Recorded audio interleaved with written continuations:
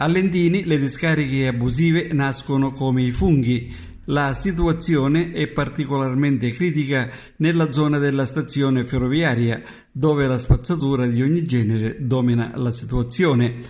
Il grave problema igienico-sanitario, tra l'altro, è stato segnalato più volte al comune, ma fino ad oggi non si registra nessun intervento.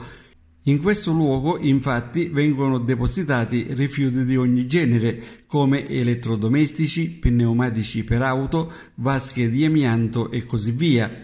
Il luogo, tra l'altro, non sfugge nemmeno all'attenzione degli automobilisti e camionisti che transitano sulla statale 194 Catania-Ragusa, considerato che la discarica abusiva fa da cornice anche al bivio che porta a Lentini.